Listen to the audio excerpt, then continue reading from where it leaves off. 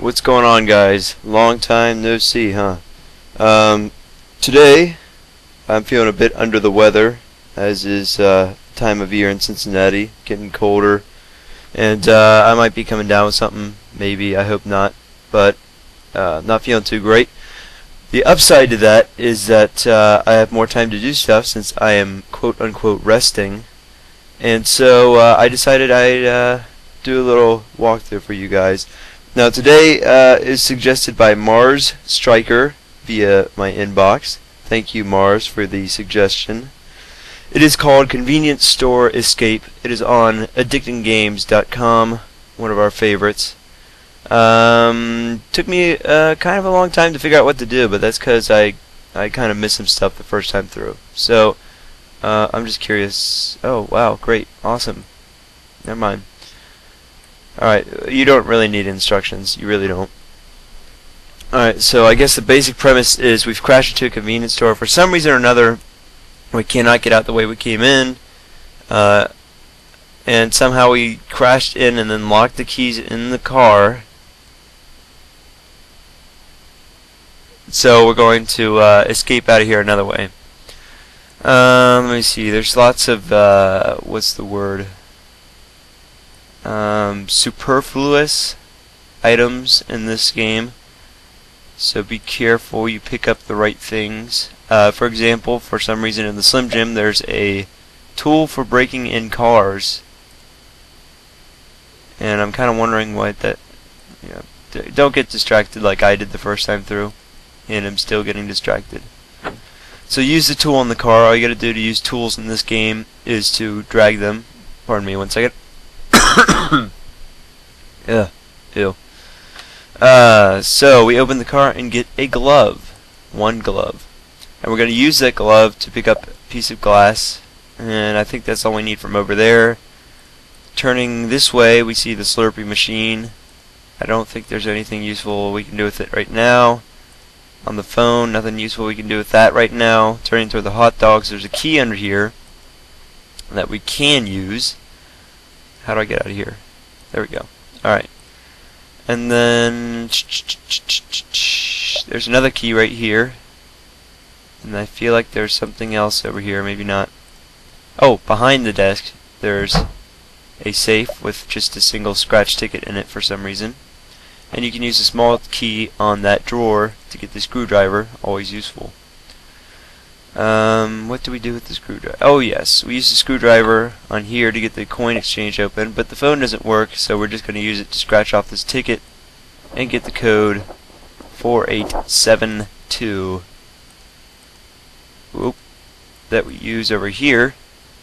4872 unlock.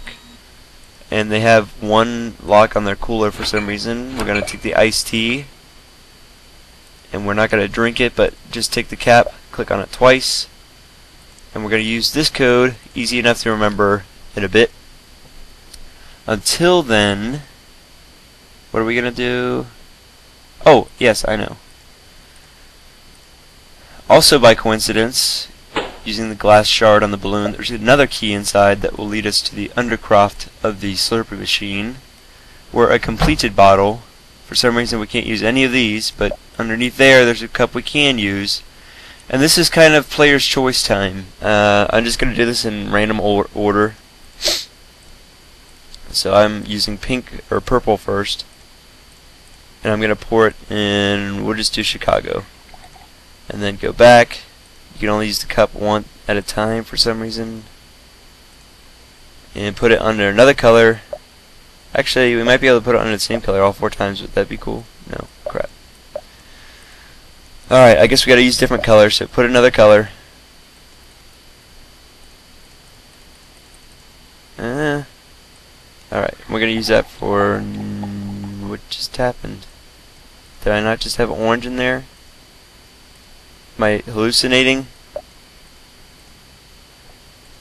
What is going on? Hold on one second. Give me the cup. Alright, fill it up with pink, I guess. Did I miss something? Oh, it is in there. I just couldn't see it the first time. Okay, never mind. We're good. We accidentally poured it in Las Vegas. It's alright. Jeez Louise. And then we haven't used blue, so use blue. Fill her up. Take it out. Yeah. And that'll be our last one for Boston. So, what is it? Purple for Chicago, pink for New York, orange for Las Vegas, and blue for Boston. Here's a convenient map. Purple. Crap, I already forgot it. I need my notepad. Purple, pink, orange, and blue. Purple is Chicago. Pink is New York, which is this one.